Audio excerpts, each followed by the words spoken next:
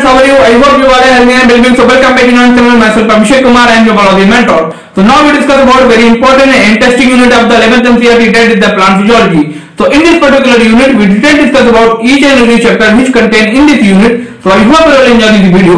So if you like my video, so please subscribe my channel and like share my video with friends. And if you want to join my social media handle, so I provide a link in the description box and the box section of my channel. So please go through the box section of my channel and click the social media icon and join with us. So I hope you will appreciate with me. So watch the video and keep support.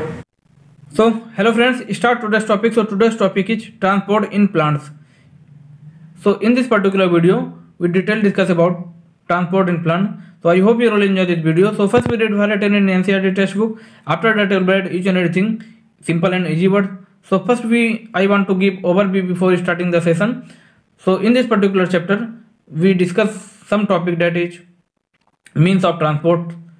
After that, plant water relationship. After that, long distance transport of water की इतनी ऊंचाई में पेड़ बहुत सारी height के होते हैं, सौ मीटर की हाइट में होते हैं तो उसमें वाटर कैसे ट्रांसपोर्ट होता है? सारी की सारी चीज़ें देखेंगे। आफ्टर डेट देखेंगे ट्रांसपायरेशन की क्या वास्पोसर्जन क्या होता है? यानी ट्रांसपायरेशन यानी वास्पोसर्जन क्या होता है? ठीक है? और फिर देखेंगे हम किसके बारे में? अपटेक एंड ट्रांसपोर्ट क्या देखेंगे? Uptake and transport mineral nutrition, यानी मिनरल न्यूट्रिशन को कैसे प्लांट अपटेक करता है लेता लेता है और उसको कैसे ट्रांसपोर्ट करता है है ना?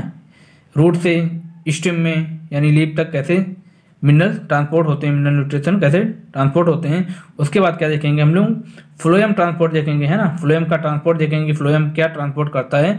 और flow from source to sinks, यानी सोर्स क्या होता है और सिंक क्या होता है, सारी की सारी चीज़ें डिटेल्स में आपको बताऊँगा। तो चलिए शुरू करते हैं विदाउट वेस्टिंग एनी टाइम तो क्या बताया गया एन सी की हिस्ट्री में हमको?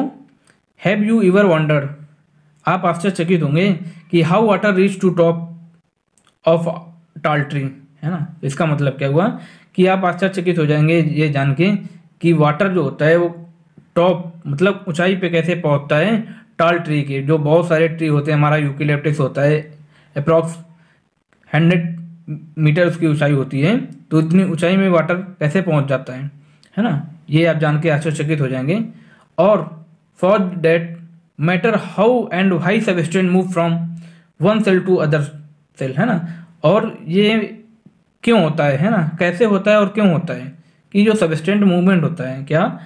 ये क्यों और कैसे होता है कि जो सबस्टेंट मूव करता है from one cell to other cell है ना? एक सेल से दूसरी सेल में सबस्टेंट कैसे मूव करता है?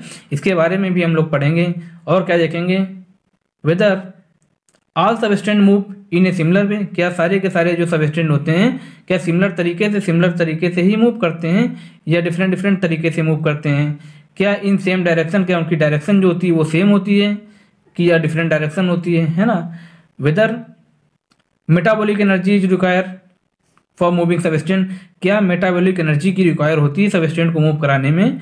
ये हम सारी की सारी चीज़ें देखेंगे कि कोई सबस्टेंट क्या सिमिलर वे से मूव करता है और क्या सेम डायरेक्शन होती है उनकी? है ना? किस किस डायरेक्शन में मूव करते हैं और क्या उनके मूवमेंट के लिए मेटाबॉलिक एनर्जी की ज़रूरत होती है? है ना? और क्या बताया गया है? Plant need to move molecules over very long distance है ना? प्लांट को ज़रूरत होती है अपने मॉलिक्यूल को मूव कराने के लिए लॉन्ग डिस्टेंस में। है ना?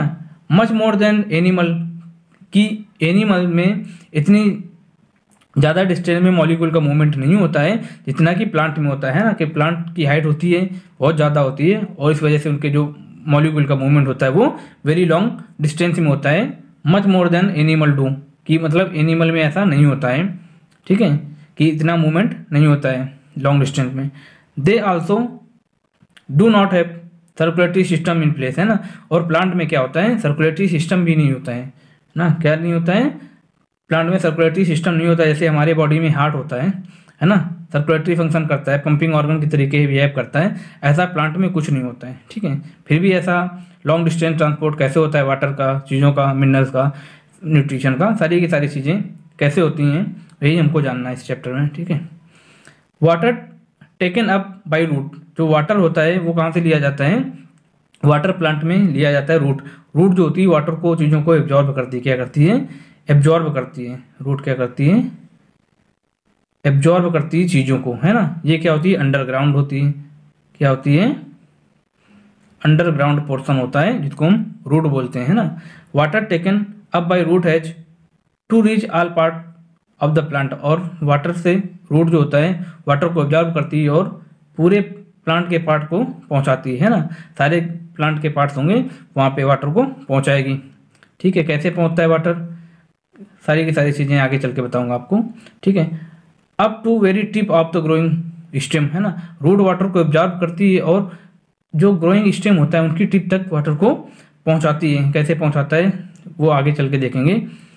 द फोटोसिंथेट्स है ना? जो फोटोसिंथेट्स होते हैं, क्या होते हैं? मतलब फ़ूड का सिंथेसिस फ़ोटो का मतलब होता है। फोटोसिंथेसिस क्या होती है? जब सनलाइट की प्रेजेंट में कार्बन डाइऑक्साइड होती है तो क्या प्लांट अपना क्लोरोफिल की सहायता से क्या बनाते हैं? फ़ूड बनाते हैं, भोजन बनाते हैं। क्या बनाते हैं? फ़ूड सिंथेसिस करते हैं। फ़ूड सिंथेसिस करते हैं, ठीक है? क्लोरोफिल इसमें हेल्प करता है ग्रीन लीफ में होता है, ठीक है? आगे क्या है? By leaf have also to move all part including root tip embedded deeps inside the soil है ना? जो रूट वाटर को ऑब्जॉर्व करती है, वो स्टेम लीप में पहुंचाती है और जो फोटोसिंथेसिस के थ्रू जो खाना बनता है, भोजन बनता है, वो लीप में बनता है और वो लीप क्या करती है, सारे के सारे प्लांट के पार्ट को भोजन पहुंचाती है। यहाँ तक कि रूट को भी पहुंचाती है, रूट टिप को भी पहुंचाती है। रूट टिप कहाँ पे होती है? इनसाइड द सॉइल यानी वो सॉइल में ज़मीन के अंदर होती है अंडरग्राउंड होती है, उसमें इमडेड होती है। यहाँ तक भी लीप से भोजन कैसे पहुँच जाता है, सारी की सारी चीज़ें जानना है हमको, ठीक है? Movement movement across short distance movement short distance मतलब थोड़ी जगह में हो, क्या हो? अक्रॉस शॉर्ट डिस्टेंस है ना? मूवमेंट जो थोड़ी जगह में हो से विद इन द सेल है ना? या सेल में सेल में ही हो, है ना? या शॉर्ट डिस्टेंस में हो, या सेल में हो अक्रॉस द मेम्ब्रेन या फिर मेम्ब्रेन को क्रॉस कर रहा हो, यानी मेम्ब्रेन के बाहर हो, ठीक है? And from cell to cell within the tissue has to also take place और उसमें क्या होता है? सेल टू सेल भी मूवमेंट क्या होता है? सेल टू सेल भी मूवमेंट होता है। टिश्यू की सेल टू सेल मूवमेंट होगा, है ना? और क्या होगा? शॉर्ट स्टैंड मूवमेंट हो सकता है अक्रॉस द मेम्ब्रेन मूवमेंट हो सकता है। ये सारी की सारी चीज़ें होती हैं, ठीक है? To understand some to understand some transport process that take place in plant तो हमको कुछ ट्रांसपोर्ट प्रोसेस के बारे में पढ़ना है है ना? कि जो कि कहाँ पे होते हैं? प्लांट में होते हैं। कुछ प्लांट में हम ट्रांसपोर्ट प्रोसेस के बारे में पढ़ेंगे, जो कि प्लांट्स में होते हैं। ठीक है? One would have to recollect one basic knowledge about the structure of the cell and anatomy of the plant body है ना? तो हमको क्या स्ट्रक्चर ऑफ़ द उसके structure of the cell cell का स्ट्रक्चर और उसके प्लांट बॉडी के बारे में हमको बेसिक नॉलेज होना चाहिए, है ना? उसके बारे में हम लोग देखेंगे। क्या है? We also need to revisit our understanding of diffusion हमको क्या हुआ? हमको क्या करना होगा? हमको रिविजिट करना होगा, यानी अपनी अंडरस्टैंडिंग को समझना होगा अबाउट डिफ्यूजन कि डिफ्यूजन क्या होता है है ना? हमको समझने की ज़रूरत है कि डिफ्यूजन क्या होता है, ठीक है? और क्या? Beside gaining some knowledge about the chemical potential and ion और हमको कुछ केमिकल पोटेंशियल और आयन के लिए भी क्या? नॉलेज गेन करना होगा। उनको समझना होगा कि केमिकल पोटेंशियल क्या होता है और आयन क्या होते हैं? केमिकल पोटेंशियल और आयन क्या होते हैं? डिफ्यूजन क्या होता है? सारी की सारी चीज़ें हमको पढ़ना होगा, समझना होगा, ठीक है? और कह दिया गया है when we talk of the movement of substance जब हम किसी मूवमेंट ऑफ़ सबस्टेंस के बारे में बात करते हैं, क्या करते हैं? When we talk of movement of substance we first need to define what kind of movement we are taking about है ना? What kind of movement we talking about जब हम किसी मूवमेंट ऑफ़ सबस्टेंस के बारे में बात करते हैं तो हमको ये पता होना चाहिए, हमको ये पता होना चाहिए कि हम किस टाइप के मूवमेंट के बारे में बात कर रहे हैं, ठीक है? And also what substance we are looking at और हम उसमें कौन सा सबस्टेंस के बारे में देख रहे हैं, कौन से सबस्टेंस का उसका मूवमेंट करवा रहे हैं, किस सबस्टेंट के बारे में हम बात कर रहे हैं, किस टाइप के मूवमेंट के बारे में बात कर रहे हैं, ये सारी की सारी चीज़ें हमको पता होनी चाहिए, है ना? In flowering plant flowering plant किसको बोलते हैं हम लोग जानते हैं? फ्लोरिंग प्लांट क्या होते हैं? एनजीओ स्पर्म क्या होते हैं? एनजीओ स्पर्म एनजीओ स्पर्म जो होते हैं, क्या होते हैं, वो फ्लोरिंग प्लांट होते हैं ना? In flowering plant the substance that would need to transport are water, है ना? फ्लोरिंग प्लांट में कौन कौन से सबस्टेंस कब ट्रांसपोर्ट होता है? तो कौन कौन से होते हैं? वाटर होता है है ना? और क्या होते हैं? मिनरल न्यूट्रिएंट होते हैं, ऑर्गेनिक न्यूट्रिएंट होते हैं, और क्या होते हैं? प्लांट ग्रोथ रेगुलेटर, क्या होते हैं? प्लांट ग्रोथ रेगुलेटर, जिसको क्या बोलते हैं हम? प्लांट रेगुलेटर को क्या बोलते हैं? पीजीआर। क्या बोलते हैं पीजीआर यानी फ्लोरिंग प्लांट में जो सबस्टेंट का ट्रांसपोर्ट होता है वो कौन कौन से होते हैं? वाटर होते हैं, मिनरल न्यूट्रिएंट होते हैं, ऑर्गेनिक न्यूट्रिएंट होते हैं और क्या होते हैं? पीजीआर होते हैं, यानी प्लांट ग्रोथ रेगुलेटर होते हैं। आगे क्या बताया गया ओवर स्मॉल डिस्टेंस सबस्टेंस है ना? जो स्मॉल डिस्टेंस में सबस्टेंट का मूवमेंट होगा किसके द्वारा होगा? वो बाई डिफ्यूजन के द्वारा होगा। किसके द्वारा होगा? बाई डिफ्यूजन के द्वारा होगा। स्मॉल डिस्टेंस ऑफ़ ट्रांसपोर्ट जो होगा सबस्टेंट का बाई डिफ्यूजन के द्वारा होगा। डिफ्यूजन क्या होता है? ये लिविंग मैटर पे डिपेंड नहीं करता है कि सिस्टम लिविंग है कि नॉन लिविंग है। है ना? इसमें ये सॉलिड लिक्विड गैस सभी में होता है। बट जो उसका ऑर्डर होता है गैस में सबसे ज़्यादा डिफ्यूजन होगा। उसके बाद क्या होगा? लिक्विड में होगा। और फिर क्या होगा? सॉलिड में होगा। क्या होगा फिर? सॉलिड में होगा। ये इसमें एनर्जी का यूज़ नहीं होता है ना? क्या होता है ये? पैसिव प्रोसेस होता है। कैसा होता है? पैसिव प्रोसेस होता है। इसमें एनर्जी का यूज़ नहीं होता है। ठीक है? ये लिविंग मैटर पे डिपेंड नहीं करता है। यानी सिस्टम लिविंग है नॉन लिविंग है, ये सभी पे होगा। यानी सबसे ज़्यादा गैस में होगा, फिर क्या होगा? लिक्विड में होगा, फिर सॉलिड में होगा। ठीक है? समझ गए होंगे डिफ्यूजन आगे चल के मैं सारी की सारी चीज़ें बताऊँगा। एंड ये क्या होता है? स्मॉल डिस्टेंस ट्रांसपोर्ट जो सबस्टेंस का होता है, वो डिफ्यूजन के द्वारा होता है। और क्या होता है? साइटोप्लाज्मिक स्टीमिंग के द्वारा होता है। सप्लीमेंटेड बाई एक्टिव ट्रांसपोर्ट है ना? सप्लीमेंटेड बाई एक्टिव ट्रांसपोर्ट उसके बाद क्या दिया गया है? ट्रांसपोर्ट ओवर लॉन्ग डिस्टेंस, है ना? जो लॉन्गर डिस्टेंस में ट्रांसपोर्ट होता है, किसके थ्रू होता है? Transport over longer distance proceed through the vascular system. Vascular system में क्या आते हैं हमारे? जाइलम और फुलयम आते हैं। क्या आते हैं? वास्कुलर सिस्टम में क्या आते हैं? जाइलम और फ्लोयम आते हैं। जाइलम और फ्लोयम आते हैं वास्कुलर सिस्टम में, है ना? जाइलम और फ्लोएम आते हैं वास्कुलर सिस्टम में।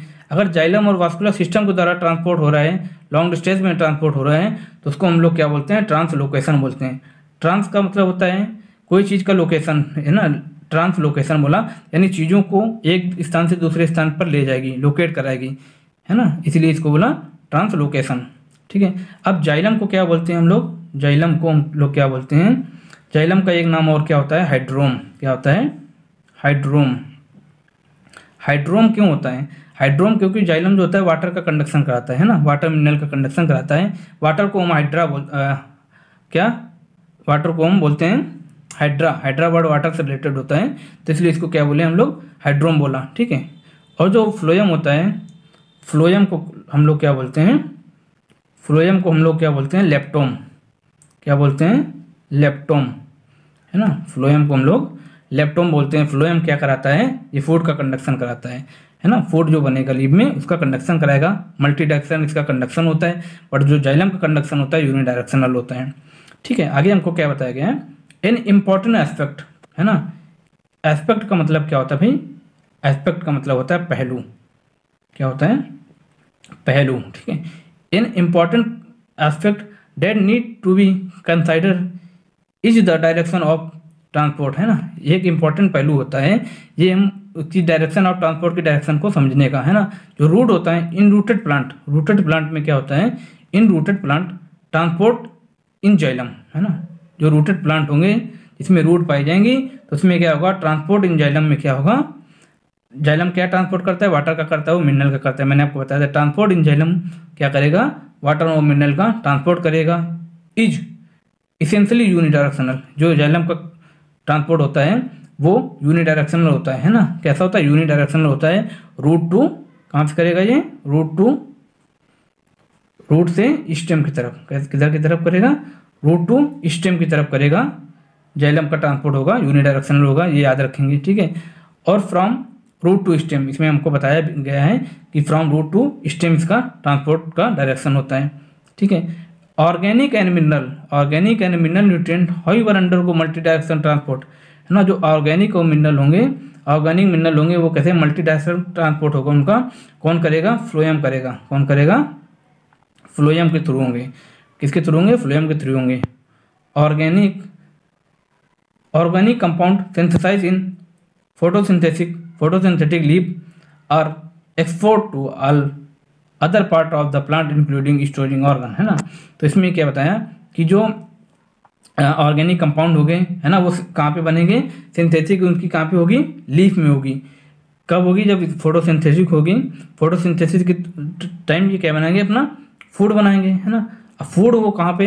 पूरे प्लांट में लोकेटेड होगा, है ना? पूरे प्लांट में ट्रांसलोकेटेड किया जाएगा, भेजा जाएगा। ठीक है? लीफ से वो रूट की तरफ़ भी आएगा, है ना? स्टोरेज ऑर्गन जो होते हैं, वहाँ पे भी भेजा जाएगा, ठीक है? स्टोरेज ऑर्गन क्या होंगे? ये मतलब फ़ूड को स्टोर करेंगे। जब उनकी कंडीशन एडवर्स होगी तो फिर इन्हीं से इन्हीं का फ़ूड जो होगा, फिर पूरे प्लांट में ट्रांसपोर्ट किया जाएगा, फिर से भेजा जाएगा, ठीक है? एक एक रिजर्वायर के तरीके काम करते हैं। क्या करते हैं? रिजर्वायर के तरीके काम करते हैं। रिजर्वायर के तरीके काम करेंगे, ठीक है? From the store storage organ they are later reexported है ना, जो स्टोरेज ऑर्गन होंगे, जब कंडीशन एडवर्स होगी तो क्या होगा, ये स्टोरेज ऑर्गन से जो फ़ूड स्टोर है, वो फिर से रीएक्सपोर्ट किया जाएगा, यानी फिर से पुनः भेजा जाएगा उसको, है ना? पुनः फिर पूरे प्लांट में भेजा जाएगा। आगे क्या दिया गया है? The mineral nutrition the mineral nutrient are taken up by root and transport upward into stem जो रूट का काम क्या होता है, वो एब्जॉर्प्शन करती है रूट का काम क्या होता है? एब्जॉर्प्शन करती है, चीज़ों को एब्जॉर्ब करेगी, है ना? तो मिनरल और न्यूट्रिएंट जो होंगे, वो रूट के द्वारा एब्जॉर्ब किए जाएँगे रूट के द्वारा एब्जॉर्ब किए जाएँगे और क्या किया जाएगा उसको? ट्रांसपोर्ट किए जाएँगे अपवर्ड इनटू स्टेम है ना? ऊपर की तरफ़ ट्रांसपोर्ट किए जाएँगे। यानी जो स्टेम होता है स्टेम क्या होता है? अंडरग्राउंड से ऊपर होता है ना? अंडरग्राउंड पोर्शन जो होता है, क्या होता है? अंडरग्राउंड क्या होता है? रूट होता है अंडरग्राउंड जो होता है रूट होता है, और जो स्टेम होता है वो क्या होता है above of the ground stem क्या होता है? एव ऑफ़ द ग्राउंड क्या होता है? एव ऑफ़ द ग्राउंड ये बात को याद रखेंगे। ठीक है? Above of the ground above of the ground होता है है ना? जो रूट से चीज़ें एब्जॉर्व होंगी, वो कहाँ पे जाएँगी? स्टेम में जाएँगी लीफ में जाएँगी, है ना? स्टेम में भेजी जाएँगी लीफ में भेजी जाएँगी, और क्या? ग्रोइंग रीजन और क्या होगा? ग्रोइंग रीजन जो प्लांट का ग्रोइंग रीजन है, उसमें चीज़ों को भेजा जाएगा। ठीक है? When any plant part undergo senescence जब कोई प्लांट पार्ट होता है सेनेसन का मतलब होता है बुढ़ापा या ओल्ड एज क्या होता है? ओल्ड जब कोई भी प्लांट का पार्ट होगा, वो बुढ़ापे पे जाएगा, यानी ओल्ड हो जाएगा तो क्या होगा? वहाँ का जो न्यूट्रिएंट है, क्या है? न्यूट्रिएंट में भी withdraw from such region and move to growing part तो वहाँ का जो न्यूट्रिएंट होगा उसको क्या किया जाएगा? वहाँ से विड्रॉ कर दिया जाएगा और उसको कहाँ पे? Growing region growing part of plant का जो होगा, उसको दे दिया जाएगा, उसकी तरफ़ भेज दिया जाएगा। ठीक है? ये बात याद रखेंगे कि जब प्लांट को कोई पार्ट जो होता है सेनेसन से में जाता है, यानी बुढ़ापे पे जाता है ओल्ड हो जाता है, मरने वाला होता है तो वहाँ का जो न्यूट्रिएंट होता है, उस पार्ट से क्या कर लिया जाता है? विड्रॉ कर लिया जाता है और उसको ग्रोइंग पार्ट में भेज दिया जाता है। ठीक है? ये बात को याद रखेंगे। आगे क्या है? हार्मोन्स और प्लांट ग्रोथ रेगुलेटर, जो हार्मोन्स होते हैं, उनको क्या बोलते हैं? प्लांट ग्रोथ रेगुलेटर, जिसको क्या बोलते हैं? पीजीआर। मैंने आपको बताया था, इनको क्या बोलते हैं? पीजीआर बोलते हैं। And other chemical stimuli are also transported through very small amount sometime is strictly polarise or unidirectional manner from they are synthesise and other parts ठीक है तो इसमें क्या हुआ कि जो जो सेनेसेंस में प्लांट का पार्ट जो होता है सेनेसेंस में जाता है तो उसका जो होता है, उसमें जितने भी वो होंगे, सारे के सारे मिनरल्स न्यूट्रिशन वगैरह, उससे ट्रांसपोर्ट कर लिए जाएँगे, ठीक है? उससे ट्रांसपोर्ट कर लिए जाएँगे, वो कहाँ पे भेज दिया जाएगा? ग्रोइंग पार्ट ऑफ़ प्लांट को भेज दिया जाएगा, ठीक है? और उसमें क्या हार्मोन्स भी हार्मोन्स भी होते हैं, उसमें प्लांट ग्रोथ रेगुलेटर भी होते हैं केमिकल स्टोमलाई भी होते हैं, है ना? सारी की सारी चीज़ें ग्रोइंग पार्ट को भेज दी जाएँगी, है ना? कुछ टाइम क्या होता है ये स्ट्रिक्टली पोलराइज होते हैं। स्ट्रिक्टली पोलराइज का मतलब क्या हुआ? कि मतलब जहाँ से चीज़ें बनेंगी, है ना, जहाँ पे चीज़ें बनेंगी, वहाँ पे वो यूज़ नहीं होंगी। जैसे हमारा ऑक्सीजन होता है ऑक्सीजन कहाँ पे बनता है? ऑक्सीजन होता है पीजीआर है। ये बनता तो रूट में, बनेगा रूट रीजन पे, ठीक है? और इसका जो फ़ंक्शन होगा एक्शन होगा, कहाँ पे होगा? स्टेम साइड में, है ना? स्टेम में स्टेम में, ठीक है? तो इसी तरीके का यही बताया गया हमको। Sometime in strictly polarise or unidirectional manner from where they synthesise to other parts है ना? जहाँ पे बनते हैं, वहाँ पे इसका यूज़ नहीं होता है, दूसरे पार्ट में इसका यूज़ होता है, दूसरे रीजन पे इसका यूज़ होता है, ठीक है? आगे क्या बताया? Hence in flowering plant there is a complex traffic flowering plant में क्या होता है? बहुत सारा कॉम्प्लेक्स ट्रैफ़िक होता है of compounds but probably very orderly है ना? बहुत सारा फ्लोरिंग प्लांट में बहुत सारे ट्रैफ़िक होते हैं बट उसमें क्या है? सारी की सारी चीज़ें ऑर्डरली मैनर पे काम करती हैं। मूविंग डिफरेंट डायरेक्शन और वो डिफरेंट डिफरेंट डायरेक्शन पे अपना मूवमेंट शो करते हैं। जो प्लांट रेगुलेटर होते हैं, उनका डिफरेंट डिफरेंट टाइप का फ़ंक्शन होता है, और उनका डिफरेंट डिफरेंट टाइप का टाइम टाइम ऑफ़ एक्शन होता है कि मतलब वो किस टाइप पे, किस टाइम पे कौन सा एक्शन शो करेंगे। जैसे हमारा ऑक्सीजन हुआ रोड पे बनता है, अपना स्टेम पे जाके एक्शन शो करता है। तो ऐसे और भी होते हैं प्लांट ग्रोथ रेगुलेटर आगे चल के मैं आपको बताऊँगा सारी की सारी चीज़ें, ठीक है? Each organ receiving each organ receiving some substance and giving out some other है ना? कि सारे के सारे जो प्लांट का ऑर्गन होता है वो रिसीव करेंगे, है ना? क्या रिसीव करेंगे? सम सबस्टेंट मतलब सारे के सारे सबस्टेंट को रिसीव करेंगे, जो एसेंशियल सबस्टेंट हैं, उनको रिसीव करेंगे और क्या फिर वो किसी दूसरे को देंगे, है ना? किसी दूसरे पार्ट को देंगे। तो मीन्स ऑफ़ ट्रांसपोर्ट में पहला हमको क्या दिया गया है? डिफ्यूजन है ना? डिफ्यूजन क्या होता है? इसी को हम क्या बोलते हैं? डिफ्यूजन को हम क्या बोलते हैं? सिंपल डिफ्यूजन भी बोल सकते हैं। सिंपल डिफ्यूजन ठीक है? सिंपल डिफ्यूजन भी इसको बोल सकते हैं। तो हमको पहले यही दिया गया, इसी के बारे में देखेंगे हम लोग। ठीक है? इसमें क्या होता है? Movement by diffusion is passive है ना? जो मूवमेंट होता है डिफ्यूजन के द्वारा, वो कैसा होता है? पैसिव होता है। पैसिव का मतलब इसमें एनर्जी का यूज़ नहीं होगा। Not use energy not use energy इसमें क्या होगा? एनर्जी का यूज़ नहीं होगा। इसीलिए इसको क्या बोला? पैसिव बोला। ठीक है? आगे क्या है? And may be from one part ये क्या हो सकता है? May be from one part of the cell to other and from cell to cell and even short distance say from the inter cellular space of leaf and outside है ना? तो इसका मतलब क्या हुआ कि जो डिफ्यूजन होता है, ये पैसिव प्रोसेस होता है है ना? मूवमेंट ऑफ़ डिफ्यूजन होगा, ये पैसिव प्रोसेस होगा। ये कहाँ सब, कहाँ पे हो सकता है? ये one part of the plant cell यानी सेल में सेल के एक पार्ट में हो सकता है है ना? सेल टू सेल हो सकता है और शॉर्ट डिस्टेंस पे भी हो सकता है। छोटी छोटी सी जगह, छोटी सी डिस्टेंस में होगा सेल टू सेल होगा और क्या हो जाएगा? इंटरसेलुलर स्पेसेस पे भी होता है। कहाँ पे देखा जाता है? From intercellular spaces of the leaf and outside intercellular spaces leaf और आउटसाइड में भी देखा जाता है। सेल टू सेल देखा जाता है। ओवर शॉर्ट डिस्टेंस पे देखा जाता है। और ये क्या होता है? पैसिव प्रोसेस होता है। इसमें एनर्जी का यूज़ नहीं होता है। ठीक है? अब इसमें आगे क्या बताया गया है? No energy expenditure take place हमको बता दिया गया इसमें एनर्जी का यूज़ नहीं होता। एक्सपेंडिचर का मतलब होता है खर्च होना। क्या मतलब होता है? खर्च होना। यानी इसमें एनर्जी यूज़ नहीं होगी एनर्जी खर्च नहीं होगी। No energy expenditure take place यहाँ पे एनर्जी का यूज़ नहीं होता है। डिफ्यूजन क्या होता है? Diffusion molecule move a random fashion यानी डिफ्यूजन में क्या होता है? मॉलिक्यूल जो मूव करेंगे कैसे? रैंडम फ़ैशन में मूव करेंगे, है ना? रैंडम फ़ैशन मतलब कि सारे सारे के मॉलिक्यूल सारे के सारे मॉलिक्यूल एक फ़ैशन आसानी से मूव करेंगे, है ना? ऐसे ऐसे मूव कर रहे हैं। सारे के सारे मॉलिक्यूल का मूवमेंट जो होगा रेंडम होगा, चारों डायरेक्शन में होगा, है ना? किसी भी डायरेक्शन में मूवमेंट शो कर देंगे, ठीक है रेंडम डायरेक्शन में। ठीक है the net result being substance moving from region higher concentration to region of lower concentration है ना? तो इसमें डिफ्यूजन में क्या होता है? डिफ्यूजन होता है कंसनट्रेशन ग्रेडियंट के बेसिस पे काम करता है। कंसंट्रेशन ग्रेडियंट है ना? इसमें कंसंट्रेशन जो ग्रेडियंट होता है, वो इंपॉर्टेंट होता है। क्या होता है?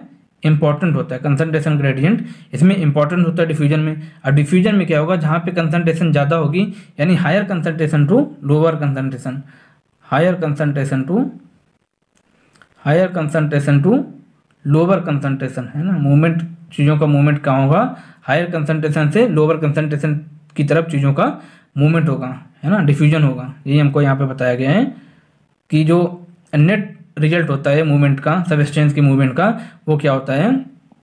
From region of higher concentration to lower concentration है ना? High concentration to low concentration movement होगा, याद रखेंगे, ठीक है? Diffusion is slow slow process diffusion क्या होता है? स्लो प्रोसेस होता है, क्योंकि इसमें क्या होता है? एनर्जी का यूज़ नहीं होता है है ना? जिसमें एनर्जी का यूज़ होगा, जो एक्टिव प्रोसेस होंगे, वो फास्ट प्रोसेस होंगे बट जो इसमें नॉट एनर्जी यूज़ नहीं होती है है ना? एनर्जी एनर्जी नॉट यूज़ है ना? एनर्जी नॉट यूज़ इसीलिए ये क्या है, ये स्लो प्रोसेस है। एनर्जी जिसमें लगेगी, वो प्रोसेस कैसा होगा? फ़र्स्ट प्रोसेस होगा, है ना? Diffusion is slow process and it is not depend on living है ना? और ये लिविंग सिस्टम पे डिपेंड नहीं करता है। किस पे? कि मतलब सिस्टम लिविंग है, उस पर डिपेंड नहीं करता है। ये सारे के सारे में होता है। यानी सॉलिड में भी होगा, ठीक है? लिक्विड में भी होगा और कैसा होगा? गैसों में भी होगा डिफ्यूजन ठीक है? बट इसका जो ऑर्डर होता है है ना, सबसे ज़्यादा डिफ्यूजन किसमें होगा? गैस में होगा। फिर क्या होगा? लिक्विड में होगा। फिर क्या होगा? सॉलिड में होगा। ये बात को याद रखेंगे। ठीक है, ये लिविंग सिस्टम पे डिपेंड नहीं करता है। ठीक है। अब क्या डिफ्यूजन इज़ ऑबिसियस डिफ्यूजन जो होता है obvious gases and liquid diffusion जो होता है गैसेस और लिक्विड में होता है। और किसमें होता है? सॉलिड में भी होता है। बट जो इसका जो ऑर्डर होता है, सबसे ज़्यादा गैस में होगा। किसमें होगा? गैस में होगा। फिर लिक्विड में होगा, फिर क्या होगा? सॉलिड में होगा, वही हमको बताया गया है। Diffusion is obvious in gases and liquid but diffusion is in solid rather than solid is more likely है ना? कि इसमें गैस लिक्विड में होता है बट सॉलिड में भी होता है। बट इसमें जो होगा, सबसे ज़्यादा गैस में होगा लिक्विड में होगा, फिर फिर सॉलिड में होगा, ठीक है? Diffusion is very important to plant diffusion जो होता है इंपॉर्टेंट होता है किसके लिए? प्लांट के लिए since it is only means of gases movement within the plant body यानी जो गैसों का मूवमेंट होता है प्लांट की बॉडी में, वो किसके थ्रू होता है? डिफ्यूजन के थ्रू होता है है ना? गैसों का मूवमेंट जो होगा प्लांट की बॉडी में, वो किसके थ्रू होगा? डिफ्यूजन के थ्रू होगा, इसीलिए ये क्या होता है? इंपॉर्टेंट प्रोसेस होता है, बहुत इंपॉर्टेंट होता है। समझ गए होंगे आप किस लिए होता है? क्योंकि जो गैसों का मूवमेंट होगा, वो डिफ्यूजन के थ्रू होता है, क्योंकि गैसें डिफ्यूज होकर एक दूसरे स्थान से, दूसरे स्थान में जाती हैं, ठीक है? Only means of gaseous movement the plant body यानी इसमें डिफ्यूजन में हेल्प करेगा। और गैसें जो होंगी डिफ्यूज होकर प्लांट बॉडी में जाती हैं, ठीक है? आगे क्या है? डिफ्यूजन रेट आर अफेक्टेड है ना? डिफ्यूजन होता है, उसका रेट अफेक्टेड होता है। किसके थ्रू होता है? डिफ्यूजन को अफेक्ट करने वाले उसके रेट होते हैं। कौन कौन से? कौन कौन से उसके रेट को अफेक्ट करेंगे? हम देख लेते हैं। क्या हुआ? ग्रेडियंट ऑफ़ कंसनट्रेशन है ना? इस क्या, पहला क्या है फैक्टर ग्रेडियंट ऑफ़ कंसनट्रेशन यानी इसको क्या बोलते हैं? कंसनट्रेशन ग्रेडियंट बोलते हैं। है ना कंसनट्रेशन ग्रेडियंट बोलते हैं। एक तो कंसनट्रेशन ग्रेडियंट होगा जो डिफ्यूजन के रेट को अफेक्ट करेगा, और क्या होगा? परमेबिलिटी ऑफ़ मेम्ब्रेन है ना? और मेम्ब्रेन की परमेबिलिटी कि मेम्ब्रेन कितनी परमेबल है चीज़ों के लिए, उस पर भी डिपेंड करेगा डिफ्यूजन का रेट और क्या? टेम्परेचर और प्रेशर पे तो डिपेंड करेगा ही करेगा। टेम्परेचर और प्रेशर है ना? फैसिलेटेड डिफ्यूजन क्या होता है? देखते हैं इसके बारे में। As point as pointed out earlier a gradient must already be present for diffusion to occurs, है ना? हमको ये पता है कि डिफ्यूजन क्या होता है? कि डिफ्यूजन में था कंसंट्रेशन ग्रेडियंट के बेसिस पे चीज़ें एक स्थान से दूसरे स्थान पे मूव कर रही थी, ठीक है? हमको ये पता था। तो यही हमको यहाँ पे बताया गया है। As you pointed earlier gradient must already be present for diffusion यानी डिफ्यूजन के लिए ग्रेडियंट जो होता है वो ऑलरेडी प्रेजेंट होता है, यानी उसमें कंसंट्रेशन ग्रेडियंट के बेसिस पे चीज़ें मूव कर रही थी, ठीक है? क्या है? The diffusion rate depend on diffusion rate जो होता है, वो किसके पे डिपेंड करता है? Diffusion rate depend on size of substance है ना? कि जो सबस्टेंस का साइज़ क्या है, उस पर भी चीज़ें डिपेंड करेंगी। डिफ्यूजन रेट उस पर भी डिपेंड करेगा। क्योंकि जो छोटी चीज़ होगी, जो छोटी चीज़ होगी, उसकी एक्टिविटी क्या होगी? हाई होगी। छोटी चीज़ की एक्टिविटी हाई होगी और बड़ी चीज़ की एक्टिविटी कम होगी। तो मतलब बड़ी चीज़ जो होगी, वो बहुत स्लो डिफ्यूज हो पाएगी और जो स्मॉल चीज़ होगी, वो बहुत फास्ट डिफ्यूज हो पाएगी। है ना? वही हमको यहाँ पे बताया गया है। The diffusion rate depend on the size of substance obviously smaller substance diffuse faster यानी जो छोटे सबस्टेंस होंगे, वो कैसे फास्ट मूव करेंगे, यानी फास्ट डिफ्यूज होंगे। ठीक है? The diffusion of any substance across a membrane also depend on solubility in lipid है ना? जो डिफ्यूजन होता है, किसी किसी भी सबस्टेंट का डिफ्यूजन होगा, वो किस पे डिपेंड करेगा? अक्रॉस ए मेम्ब्रेन है ना? आल्सो डिपेंड एक मेम्ब्रेन पे तो डिपेंड करेगा ही, और किस पे डिपेंड करेगा? ये डिपेंड करेगा सॉलिबिलिटी इन लिपिड कि वो जो सबस्टेंट है लिपिड में कितना सॉल्युबल है है ना? जो लिपिड में सॉल्युबल होगा, वो उसका जो डिफ्यूजन होगा, वो क्या होगा? बहुत फास्ट होगा, है ना? बहुत फास्ट होगा। ठीक है, यही हमको बताया गया है कि जो the diffusion of any substance across the membrane also depend on solubility in lipid की सॉल्बिलिटी ऑफ़ लिपिड पे भी डिपेंड करेगा। The major constituent of the membrane है ना? Major constituent of the membrane पे भी डिपेंड करेगा। सबस्टेंस सोल्यूबल इन लिपिड जो सबस्टेंस सोल्यूबल होते हैं किसमें? लिपिड पे सोल्यूबल होते हैं। वो क्या करते हैं? Substance soluble in lipid diffuse through membrane faster तो इसका मतलब क्या हुआ? जो सबस्टेंस लिपिड में सॉल्यूबल होंगे, वो मेम्ब्रेन से फास्ट डिफ्यूज करेंगे, है ना? जल्दी से डिफ्यूज हो जाएँगे, ठीक है? Substance that have a hydrophilic moiety वो सबस्टेंस जिसमें हाइड्रोफिलिक मोटरी होती है मतलब वो क्या होते हैं? हाइड्रोफिलिक मोटी होगी इसमें, वो वाटर से वाटर लवर नहीं होंगे, है ना? वाटर से डरेंगे। जो चीज़ें, जो सबस्टेंस वाटर से डरेंगे, वो क्या होगी? वो डिफ्यूज होने में डिफ़िकल्टी होगी उनको, है ना? Find it difficult to pass through membrane वो मेम्ब्रेन से डिफ़िकल्ट होने में उनको क्या होगी? डिफ़िकल्टी होगी प्रॉब्लम होगी, जो चीज़ वाटर से डरेगी। ठीक है, याद रखेंगे हम। Their movement their movement has to be facilitated. अब कोई चीज़ वाटर, भाई वाटर से प्रॉब्लम है, उनको वाटर से दिक्कत है तो वो चीज़ें मेम्ब्रेन से पास नहीं हो रही हैं। अब चीज़ों को तो पास करवाना है तो उसके लिए कुछ ना कुछ तो करना पड़ेगा, है ना? तो उसके लिए क्या करना पड़ेगा हमको? Their movement has be facilitated, यानी उसका मूवमेंट करवाया जाएगा। क्या? करवाया जाएगा। करवाया जाएगा। उनका मूवमेंट जो होगा करवाया जाएगा किसी ना किसी तरीके से। तो उसके लिए क्या करवाया जाएगा?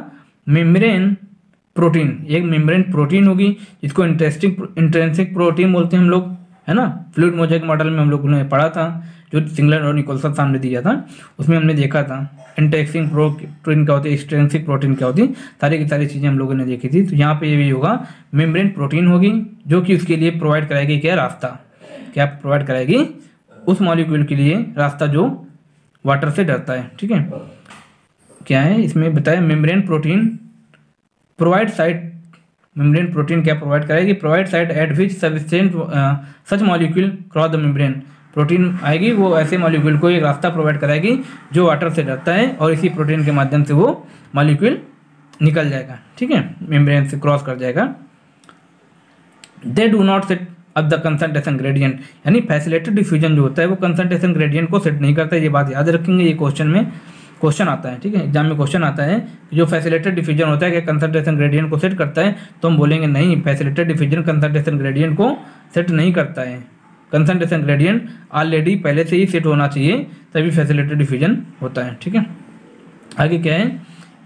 A concentration gradient must already be present for molecule to diffuse even if facilitated diffusion by protein है ना? अगर कोई भी मॉलिक्यूल को डिफ्यूज होना है, किसी भी मॉलिक्यूल को डिफ्यूज होना है फैसिलेटेड डिफ्यूजन के थ्रू यानी बाई प्रोटीन है ना? फैसिलेटेड डिफ्यूजन में कोई भी मॉलिक्यूल को प्रोटीन के थ्रू डिफ्यूज होना है तो उस मॉलिक्यूल का जो क्या है कंसनट्रेशन ग्रेडियंट जो है, वो ऑलरेडी पहले से ही क्या होना चाहिए सेट होना चाहिए। ऑलरेडी प्रेजेंट उस मॉलिक्यूल में कंसनट्रेशन ग्रेडियंट जो है, वो ऑलरेडी प्रेजेंट होना चाहिए, तभी वो फैसिलिटेड डिफ्यूजन के थ्रू प्रोटीन से वो डिफ्यूज हो सकता है। ठीक है, इस प्रोसेस को क्या बोलते हैं? This process is called facilitated diffusion है ना? इस प्रोसेस को क्या बोलते हैं? फैसिलेटेड डिफ्यूजन बोलते हैं, ठीक है? अब आगे क्या दिया गया है? In facilitated diffusion special protein help move substance across membrane without expenditure of ATP facilitated diffusion में क्या होता है? स्पेशल प्रोटीन होती है, जो कि क्या करती है? हेल्प करती है सबस्टेंट को मूव कराने में। सबस्टेंट को मूव कराने में across the membrane without expenditure of ATP यानी इसमें भी क्या होगा? ये भी कैसा प्रोसेस है? पैसिव प्रोसेस है। कैसा प्रोसेस है? पैसिव प्रोसेस है। पैसिव प्रोसेस है, ठीक है? याद रखेंगे कि जो फैसिलेटेड डिफ्यूजन होता है, ये कैसा प्रोसेस है?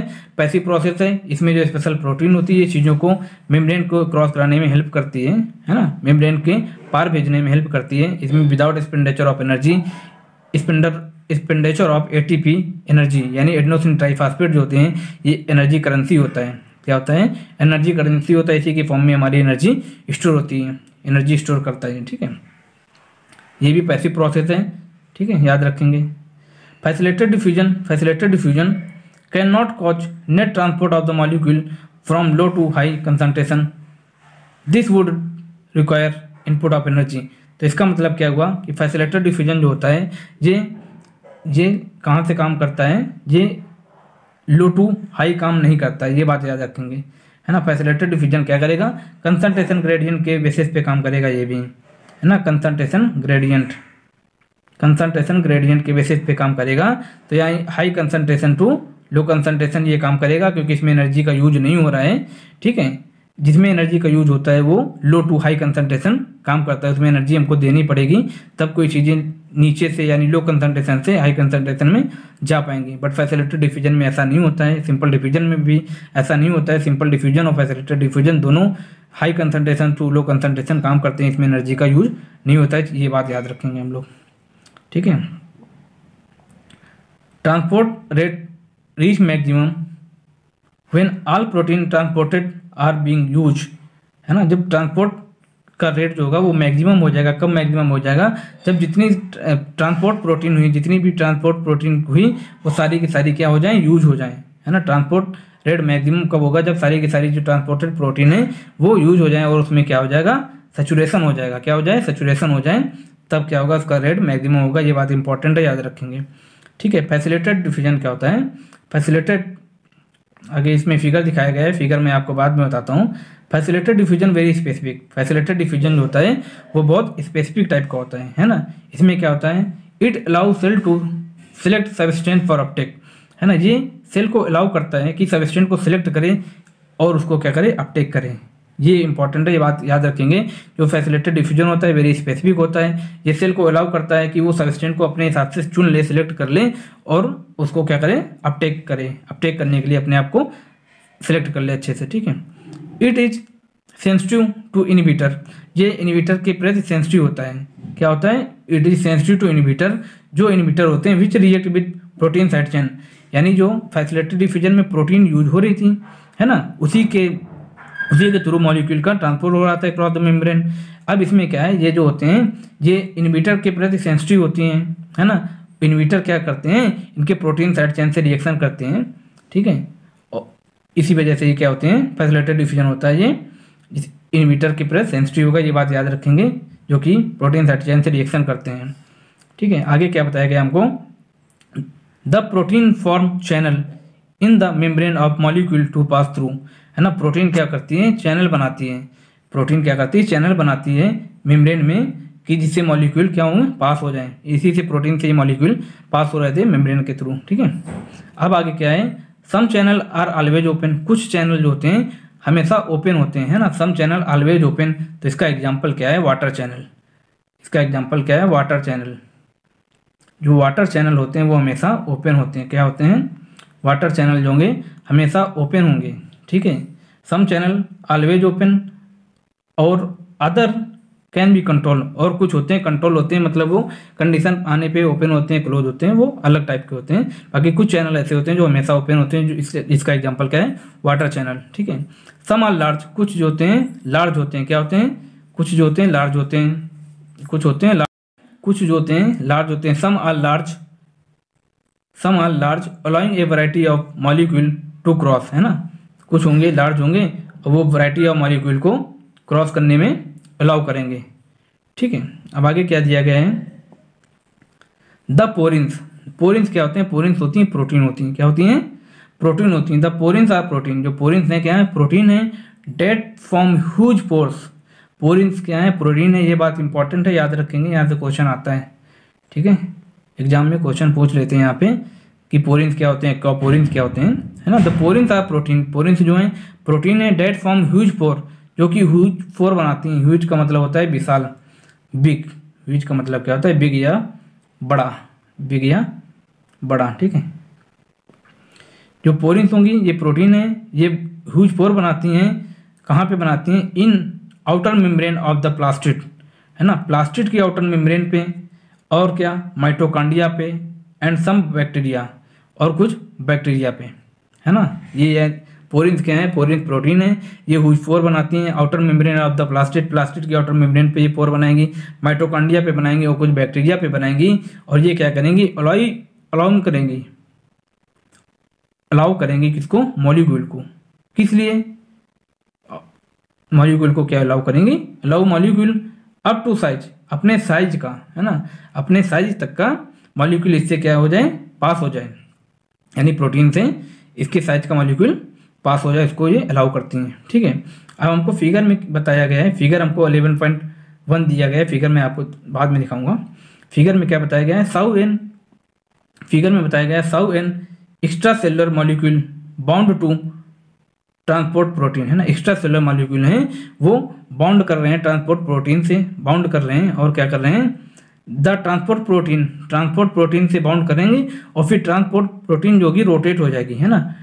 ट्रांसपोर्ट प्रोटीन फिर रोटेट हो जाएगी और जो बाउंड मॉलिक्यूल हैं उनको कहाँ पे? सेल के इनसाइड, यानी मॉलिक, जो मॉलिक्यूल रिलीज़ हो जाएँगे, सेल की तरफ़ रिलीज़ हो जाएँगे, ठीक है? इसका एग्ज़ाम्पल क्या हुआ?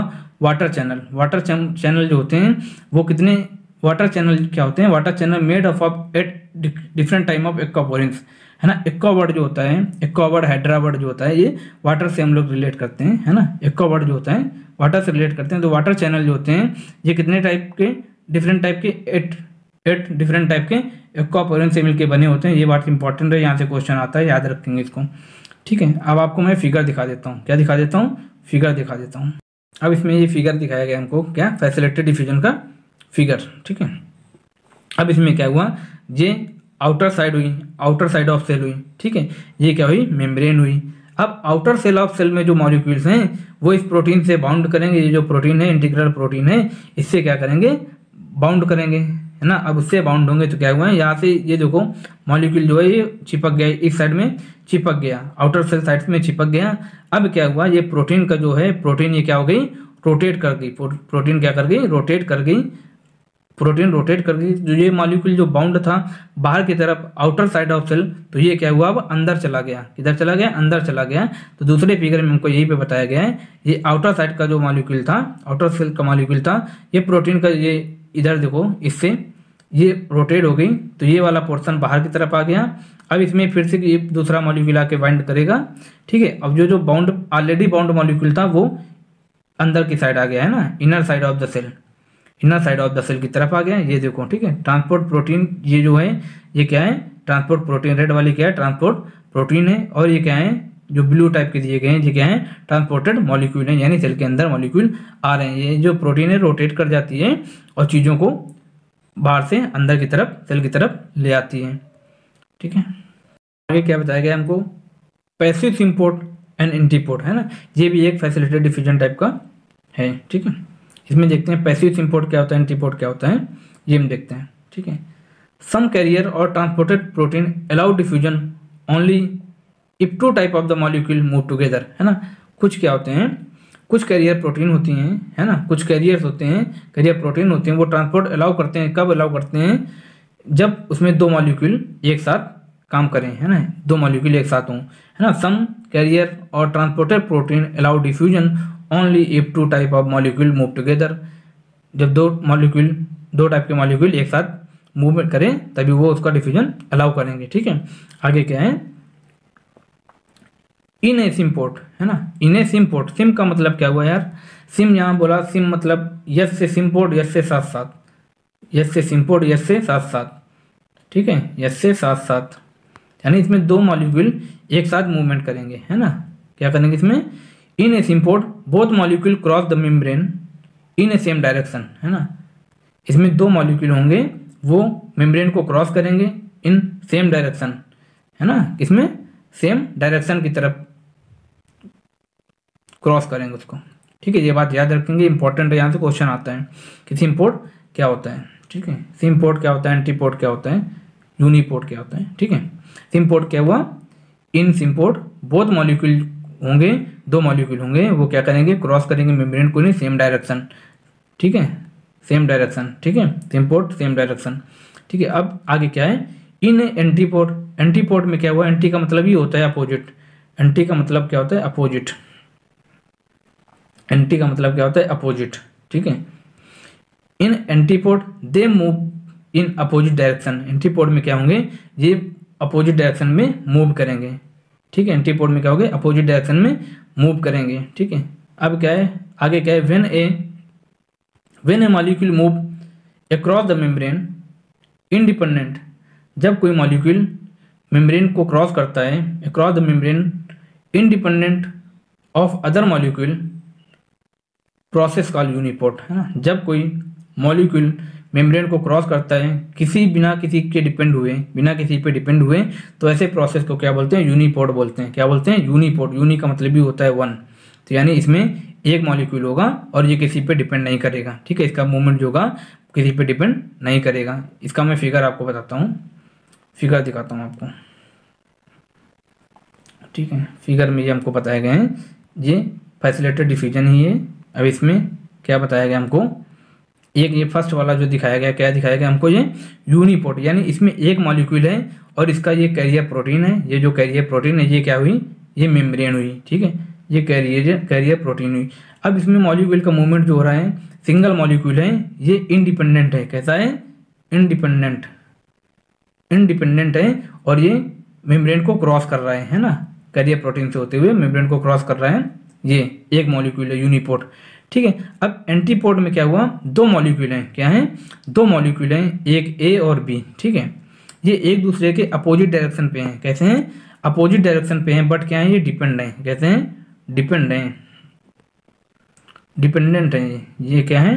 डिपेंडेंट हैं। ये एक दूसरे पे डिपेंड हैं, ठीक है? अपोजिट डायरेक्शन पे तो क्या हुआ? बड़े एक दूसरे पे डिपेंडेंट है इनका मूवमेंट ठीक है? अब इसके बाद क्या बताया गया हमको? सिमपोर्ट सिमपोर्ट मतलब साथ साथ सेम डायरेक्शन में। ठीक है? दोनों मॉलिक्यूल ए और बी मॉलिक्यूल हैं सेम डायरेक्शन में मेम्ब्रेन को क्रॉस कर रहे हैं। किसके थ्रू कैरियर प्रोटीन के थ्रू है ना? कैरियर प्रोटीन के थ्रू सेम डायरेक्शन में क्रॉस कर रहे हैं ये। ठीक है? इसका भी मूवमेंट क्या है? डिपेंडेंट है। दोनों पे ये डिपेंड है, ठीक है? एक दूसरे पे डिपेंड है। ये बात याद रखेंगे। कि जो यूनिपोर्ट होता है, वो इंडिपेंडेंट होता है से सिंगल मॉलिक्यूल क्रॉस करता है और एंटीपोर्ट में दो मॉलिक्यूल होते हैं अपोजिट डायरेक्शन में मेम्ब्रेन को क्रॉस करते हैं बट ये डिपेंड होते हैं। सिमपोर्ट में भी सेम डायरेक्शन में होता है, एक दूसरे सिमपोर्ट में मॉलिक्यूल होंगे सेम डायरेक्शन में मूव करेंगे मेम्ब्रेन को क्रॉस करेंगे कैरियर प्रोटीन के थ्रू इनका भी मूवमेंट एक दूसरे पे क्या होता है डिपेंड होता है, ये बात याद रखेंगे। ठीक है? अब हमारे पास क्या है? क्या देखेंगे हम लोग? एक्टिव ट्रांसपोर्ट देखेंगे, है ना? एक्टिव का मतलब होता है इसमें एनर्जी का खर्च होगा। हमने डिफ्यूजन देख लिया, है ना? फैसिलेटेड डिफ्यूजन देख लिया। अब एक्टिव ट्रांसपोर्ट देखेंगे। क्या देखेंगे? एक्टिव ट्रांसपोर्ट इसके नाम से ही पता चला एक्टिव यानी यहाँ पे एक्टिविटी अच्छी खासी होगी, यानी यहाँ पे एनर्जी का खर्च होगा। एनर्जी यूज़ क्या होगी?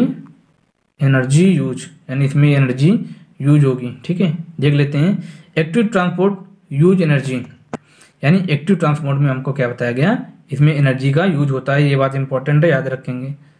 यहाँ से हमसे क्वेश्चन आता है कि एक्टिव एनर्जी में एनर्जी का यूज़ होता है या एक्टिव ट्रांसपोर्ट में एनर्जी का यूज़ होता है या नहीं होता है तो हम बोलेंगे एनर्जी का यूज़ होता है है ना?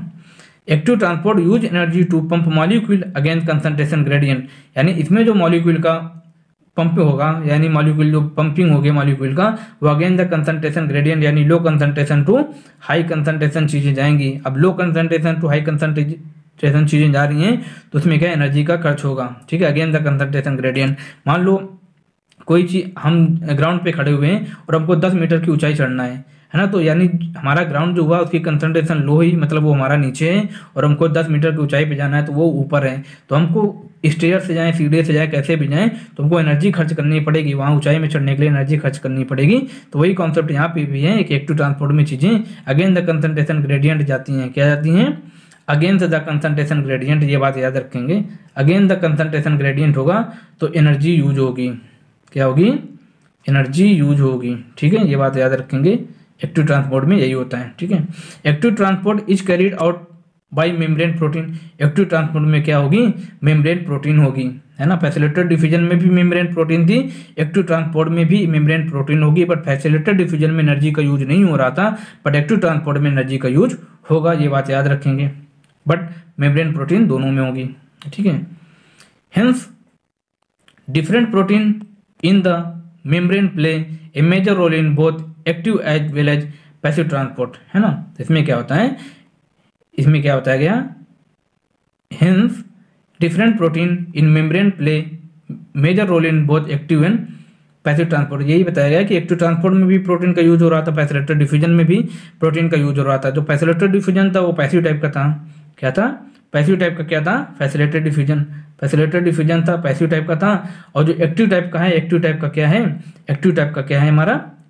यानी इसमें एनर्जी का यूज़ हो रहा है तो ये एक्टिव ट्रांसपोर्ट जो है, इसमें भी एनर्जी का यूज़ हो रहा है। फैसिलेटेड डिफ्यूजन में एनर्जी का यूज़ नहीं हो रहा था। तो बट इसमें जो प्रोटीन है है ना?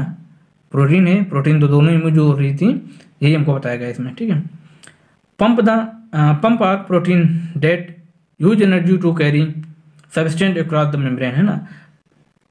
पंप डिफरेंट डिफरेंट टाइप के पंप होते हैं, है ना? तो वो क्या करते हैं? उसमें pump of protein that use energy carry substance across the cell यानी पंप जो होते हैं, वो प्रोटीन के थ्रू मॉलिक्यूल का सबस्टेंट का एक मूवमेंट कराएँगे अक्रॉस द मेम्ब्रेन है ना? और उसमें क्या? एनर्जी का यूज़ होगा।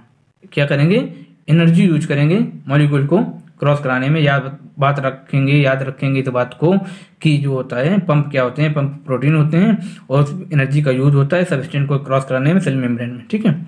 क्या है? These pump can transport these pump can transport substance from low concentration to high concentration है ना? इसमें क्या होता है? ये पंप का काम क्या होगा? दीज पंप ये मॉलिक्यूल का ट्रांसपोर्ट कराएँगे कहाँ से? Low concentration to high concentration यानी low concentration to high concentration मैंने बताया था तो इसमें एनर्जी का यूज़ होगा। अब लो से हाई चीज़ें जा रही हैं यानी नीचे से ऊपर जा रही हैं है ना? नीचे से ऊपर जा रही हैं तो इस, इसको क्या बोलेंगे? अफिल अफिल बोलेंगे। क्या बोलेंगे? अफिल है ना? अफिल ट्रांसपोर्ट बोलेंगे। ये चीज़ें क्या हो रही हैं? नीचे से कोई चीज़ ऊपर जा रही है तो यानी अप हो रहा है। ये डाउन से से अप हो रहा है तो यानी अपिल डाउन से अप हो रहा था, यानी अपिल और फैसिलेटेड और फैसिलेटेड डिफ्यूजन और डिफ्यूजन क्या था, वो डाउन हिल था, है ना? उसमें चीज़ें अगेन द कंसंट्रेशन ग्रेडियंट नहीं हो रही थी विद द कंसंट्रेशन ग्रेडियंट हो रही थी, है ना? तो वो क्या था डाउन हिल था, ठीक है? Transport rate reach maximum transport rate reach maximum कब मैक्सिमम जाता है? When all protein transported are being use और सेचुरेटेड है ना? जब ट्रांसपोर्ट रेट मैक्सिमम कब हो जाएगा? जब जितने भी ट्रांसपोर्ट प्रोटीन हैं, वो क्या हो जाएँगी? यूज़ हो जाएँगी और उनमें क्या हो जाएगा? सेचुरेशन हो जाएगा, है ना? जब सारी की सारी ट्रांसपोर्टेड प्रोटीन होंगी, वो यूज़ कर ली जाएँगी और उनमें क्या हो जाएगा? सेचुरेशन हो जाएगा। तो उसको क्या बोलेंगे? ट्रांसपोर्टेड जो होगा, वो मैक्सिमम हो जाएगा उस टाइम ठीक है? आगे क्या है? लाइक एंजाइम एंजाइम की तरीके like enzyme the carrier protein is very specific in which it carries cross the membrane इसका मतलब क्या हुआ कि एंजाइम की तरीके कैरियर प्रोटीन भी होती हैं, वो बहुत स्पेसिफिक होती हैं, है ना? वो बहुत स्पेसिफिक होती हैं कि वो क्या कैरी कर रही हैं, क्या क्या कैरीज कर रही हैं क्रॉस द मेम्ब्रेन है ना? क्या कैरी कर रही हैं क्रॉस द मेम्ब्रेन ठीक है? These protein are sensitive to inhibitor और ये जो प्रोटीन होती हैं इनिबिटर के प्रति सेंसिटिव होती हैं, कि प्रोटीन जो होंगी इनिबिटर के प्रति सेंसिटिव होंगी, जो इनिबिटर होते हैं, वो क्या करते हैं? रिएक्ट विथ प्रोटीन साइड वो प्रोटीन साइड से रिएक्शन करते हैं, यानी जो जितनी भी प्रोटीन होगी वो सेंसिटिव टू इन्वीटर होंगी। क्या होंगी? सेंसिटिव टू इन्वीटर होंगी, ये बात याद रखेंगे। एक्टिव ट्रांसपोर्ट जो होता है हमारा, इसमें क्या होता है? एक्टिव ट्रांसपोर्ट में एनर्जी का यूज़ होता है। डिफ्यूजन में और फैसिलेटेड डिफ्यूजन में एनर्जी का यूज़ नहीं होता है। ये बात याद रखेंगे। फैसिलेटेड डिफ्यूजन में प्रोटीन लगती है है ना? कैरियर प्रोटीन होती है। एक्टिव ट्रांसपोर्ट में भी कैरियर प्रोटीन होती है, ये बात याद रखेंगे। डिफ्यूजन में और फैसिलेटेड डिफ्यूजन में जो मूवमेंट होता है, वो क्या होता है? डाउनहिल होता है। क्या होता है? डाउनहिल होता है। बट एक्टिव ट्रांसपोर्ट में जो मूवमेंट होता है अगेन द कंसंट्रेशन ग्रेडियंट होता है, यानी low concentration to high concentration होता है। इसलिए इसकी मूवमेंट को क्या बोलते हैं? अफिल बोलते हैं। ये बात याद रखेंगे। ठीक है, अब हमको क्या बताया गया आगे? Comparison of different transport process है डिफरेंट डिफरेंट ट्रांसपोर्ट प्रोसेस का हमको कंपेरिजन बताया गया है। उसके बारे में देख लेते हैं हम लोग। टेबल हमको 11.1 दिखाया गया है। टेबल में आपको बाद में दिखाऊँगा। पहले टेस्ट में देख लेते हैं। Table 11.1 give a comparison of different transport mechanism है ना? जो 11.1 टेबल है, वो हमको क्या डिफरेंट ट्रांसपोर्ट मैकेनिज्म के बारे में कंपैरिजन कराती है। ठीक है? Protein in the membrane are responsible for facilitated diffusion and active transport ये मैंने आपको पहले बताया था, जो प्रोटीन होती है प्रोटीन कहाँ पे पाई जाएगी? प्रोटीन रिस्पॉन्सिबल होगी फैसिलेटेड डिफ्यूजन में। कहाँ पे? फैसिलेटेड डिफ्यूजन में। और कहाँ पे? एक्टिव ट्रांसपोर्ट में फैसिलिटेड डिफ्यूजन और एक्टिव ट्रांसपोर्ट में प्रोटीन पाई जाएगी, है ना? एंड हेंस साउ इसी वजह से इनमें क्या, कुछ कॉमन कैरेक्टर होते हैं। कौन कौन से कॉमन कैरेक्टर होते हैं? Hence so common character being highly selective है ना? कुछ इसमें कॉमन कैरेक्टर होते हैं जो हाईली सिलेक्टिव होते हैं, वो कौन कौन से होते हैं? दे लेवाइल सेचुरेशन यानी इसमें क्या होता है? सेचुरेशन आता है है ना? जब सारी की सारी ट्रांसपोर्टेड प्रोटीन यूज़ हो जाएँगी तो इनमें क्या हो जाएगा? सेचुरेशन हो जाएगा और उनका रेट क्या होगा? मैक्सिमम हो जाएगा। ये बात हमको पता है है ना? ये फैसिलिटेड डिफ्यूजन और एक्टिव ट्रांसपोर्ट का कंपेरिजन करा रहे हैं यहाँ पे ठीक है? और क्या रिस्पॉन्स टू इनिबिटर और ये सेंसिटिव होती है इनिबिटर के प्रति। फैसिलिटेड डिफ्यूजन था एक्टिव ट्रांसपोर्ट दोनों प्रोटीन यूज़ हो रही थी। इस वजह से इनिबिटर के प्रति सेंसिटिव था। ठीक है? And are under hormonal regulation और हार्मोनल रेगुलेशन में हार्मोन के प्रति अंडर में रेगुलेशन होते हैं। इनका रेगुलेशन जो हार्मोन करते हैं, ठीक है? बट डिफ्यूजन जो डिफ्यूजन होता है वेदर फैसिलेटेड डिफ्यूजन और नॉट है ना? अब ये डिफ्यूजन और फैसिलेटेड डिफ्यूजन में ऐसा नहीं होता है, ठीक है? फैसिलेटेड डिफ्यूजन डिफ्यूजन में डिफ्यूजन में क्या है? डिफ्यूजन में ऐसा नहीं होता है। फैसिलिटेड डिफ्यूजन जो था, ये सेंसिटिव था इनहिबिटर के प्रति। इसमें क्या प्रोटीन थी बट इसमें क्या है? इसमें कुछ नहीं था। इसमें कुछ नहीं था। डिफ्यूजन में ऐसा कुछ नहीं था। But diffusion with facilitated diffusion और not take place only a gradient and do not use energy है ना? और फैसिलेटेड डिफ्यूजन होता है और ये डिफ्यूजन होता है तो ये क्या होता है? ये अलॉन्ग द ग्रेडियंट इसमें अलॉन्ग द ग्रेडियंट होता है। इसमें अलॉन्ग द ग्रेडियंट होता है, यानी कंसनट्रेशन ग्रेडियंट के हिसाब से ये चीज़ें जाएँगी। Higher concentration to lower concentration gradient यानी अलॉन्ग द कंसनट्रेशन ग्रेडियंट और इसमें क्या होता है? एनर्जी का यूज़ नहीं होता है। एनर्जी यूज़ नहीं होती, ये बात याद रखेंगे। कितने कितने डिफिजन और फैसिलेटेड डिफिजन में, ये दोनों पैसी प्रोसेस हैं, ये बात याद रखेंगे। ठीक है? अब हमको क्या कंपेरिजन टेबल दिखाई गई है? टेबल में क्या बताया गया हमको? वो हम देख लेते हैं। अब टेबल में क्या बताया गया? हमको ये प्रॉपर्टी दी गई है। जी प्रॉपर्टी बताई गई इधर इधर क्या बताया? सिंपल डिफ्यूजन बताया गया है। इसमें फैसिलिटेड डिफ्यूजन और क्या? एक्टिव ट्रांसपोर्ट बताया गया है। अब पहला क्या है? पहला प्रॉपर्टी में क्या दिया गया है? रिक्वायर स्पेशल मेम्ब्रेन प्रोटीन कि किसमें स्पेशल मेंबर प्रोटीन रिक्वायर होती है? तो डिफ्यूजन था तो भाई वो तो सिंपल था यार। उसमें कुछ नहीं हो रहा था, है ना? डिफ्यूजन में कुछ नहीं हो रहा था। और वो सभी के लिए था लिविंग सिस्टम के लिए था नॉन लिविंग के लिए, सभी के लिए था, उसमें कोई लिविंग सिस्टम की ज़रूरत नहीं थी, ठीक है? तो इसमें क्या था रिक्वायर स्पेशल मेम्ब्रेन प्रोटीन यानी क्या सिंपल डिफ्यूजन में स्पेशल मेम्ब्रेन प्रोटीन की ज़रूरत पड़ रही थी तो हम लोग क्या बोलेंगे, नहीं, इसमें टेबल में कह दिया नो ठीक है? बट फैसिलेटेड डिफ्यूजन में था कि जो वाटर के मॉलिक्यूल जो वाटर हाइड्रोफिलिक मोटी थी, उन मॉलिक्यूल को पास कराने के लिए क्या था प्रोटीन, है ना? प्रोटीन के माध्यम से वो मॉलिक्यूल पास हो रहे थे तो फैसिलेटेड डिफ्यूजन में क्या? मेम्ब्रेन प्रोटीन थी, जी हाँ थी। और एक्टिव ट्रांसपोर्ट में भी मेम्ब्रेन प्रोटीन थी। ये हमको पता चला था, हम लोगों ने पढ़ लिया है, ठीक है? अब क्या है? हाईली सिलेक्टिव क्या डिफ्यूजन हाईली सिलेक्टिव था? नहीं है। वो तो सब के लिए था यार, उसमें कोई सिलेक्शन हो ही नहीं रहा था। सारी की सारी चीज़ें उससे पास हो रही थी, ठीक है? तो वही हमको बताया गया जो सिंपल डिफ्यूजन होता है, वो हाईली सिलेक्टिव नहीं होता है। बट जो फैसिलेटेड डिफ्यूजन है, वो सिलेक्टिव था और एक्टिव ट्रांसपोर्ट जो था, वो भी सिलेक्टिव था, क्योंकि इसमें क्या? प्रोटीन थी। ठीक है? कह दिया प्रोटीन थी, इस वजह से वो चीज़ों का सिलेक्शन करके ही पास करा रही थी। ठीक है? अब उसके बाद क्या हुआ? ट्रांसपोर्ट सेचुरेशन क्या इसमें ट्रांसपोर्ट सेचुरेशन हो रहा था? सिंपल डिफ्यूजन में ट्रांसपोर्ट सेचुरेशन नहीं हो रहा था, ऐसा तो कुछ सिस्टम था ही नहीं बट इसमें क्या था फैसिलेटेड डिफ्यूजन और एक्टिव ट्रांसपोर्ट में क्या था कि जब सारे के सारे ट्रांसपोर्ट प्रोटीन जो थी यूज़ हो रही थी यूज़ हो जा रही थी तो ट्रांसपोर्ट का रोड रेट जो था वो मैक्सिमम था और और क्या था, इसमें सेचुरेशन हो रहा था, है ना? और उसके बाद फिर क्या बताया, इसमें प्रॉपर्टी में और दिया गया है अफिल ट्रांसपोर्ट क्या सिंपल डिफ्यूजन में अफिल ट्रांसपोर्ट हो रहा था? अफिल ट्रांसपोर्ट का मतलब नीचे से ऊपर, क्या? Down to up up to down है ना? यानी नी, नीचे से चीज़ें ऊपर की तरफ़ जाएँगी। है ना नीचे से चीज़ें ऊपर की तरफ़ जाएँगी तो उसको क्या बोलेंगे? अपील ट्रांसपोर्ट तो सिंपल डिफ्यूजन में तो ऐसा कुछ था नहीं है ना? और ना ही पैसोलेटेड डिफ्यूजन में था। सिंपल डिफ्यूजन और पैसोलेटेड डिफ्यूजन में ये कंसंट्रेशन ग्रेडियंट के बेसिस पे था। जिसमें अगेन द कंसनट्रेशन ग्रेडियंट होता है, उसमें अपील ट्रांसपोर्ट होता है। क्या होता है? जिसमें अगेन द कंसनट्रेशन ग्रेडियंट होगा एनर्जी यूज़ होगी तो उसमें क्या होगा? अपील ट्रांसपोर्ट होगा। एनर्जी कहाँ पे यूज़ हो रही थी? एक्टिव ट्रांसपोर्ट में एनर्जी यूज़ हो रही थी। अगेन द कंसनट्रेशन ग्रेडियंट था, इसलिए यहाँ पे अपील ट्रांसपोर्ट होगा। कहाँ पे होगा? एक्टिव ट्रांसपोर्ट में होगा। बट सिंपल डिफ्यूजन और फैसिलिटेड डिफ्यूजन में अपील ट्रांसपोर्ट नहीं होगा। ठीक है? याद रखेंगे। अब क्या है? रिक्वायरमेंट एटीपी एनर्जी क्या एटीपी एनर्जी का यूज़ हो रहा था तो सिंपल डिफ्यूजन में तो नहीं। एटीपी का एनर्जी का यूज़ नहीं हो रहा था। ना ही फैसिलेटेड डिफ्यूजन में हो रहा था क्योंकि ये अगेन द कंसंट्रेशन ग्रेडियंट काम नहीं कर रही थी यानी विद द कंसंट्रेशन ग्रेडियंट काम कर रही थी यानी high concentration to low concentration चीज़ें जा रही थी इसमें एनर्जी की कोई ज़रूरत नहीं थी। बट एक्टिव ट्रांसपोर्ट में क्या है? एक्टिव ट्रांसपोर्ट में चीज़ें low concentration to high concentration जा रही थी तो इसलिए यहाँ पे एनर्जी का यूज़ हो रहा था ठीक है? एनर्जी का यूज़ हो, हो रहा था। इसीलिए यहाँ पे बताया गया रिक्वायरमेंट ऑफ़ एनर्जी कहाँ पे है? एक्टिव ट्रांसपोर्ट में एनर्जी का यूज़ हो रहा था। तो हमने देख लिया, इसमें जो डिफरेंस डिफरेंट डिफरेंट कंपेरिजन था ट्रांसपोर्ट मैकेनिज्म का, वो हम लोगों ने देख लिया कि सिंपल डिफ्यूजन में क्या था फैसिलिटी डिफ्यूजन में क्या था एक्टिव एक्टिव ट्रांसपोर्ट में क्या क्या चीज़ें हो रही थी, सारी की सारी चीज़ें हम लोगों ने इन डिटेल और इंटरेस्टिंग मैनर में देख ली। तो I hope you like my session so please subscribe my channel like share my video with friend And if you want to join my social media handle, so please visit my about section on my channel and click the social media icon and join with us. तो मिलते हैं next video में और testing video में जिसमें हम क्या पढ़ेंगे? प्लांट वाटर रिलेशनशिप के बारे में देखेंगे कि प्लांट का वाटर से क्या रिलेशनशिप है। सारी की सारी चीज़ें डिटेल्स और इंटरेस्टिंग मैनर में मैं आपको बताऊँगा। तो जब तक लिए take care bye bye you have a nice day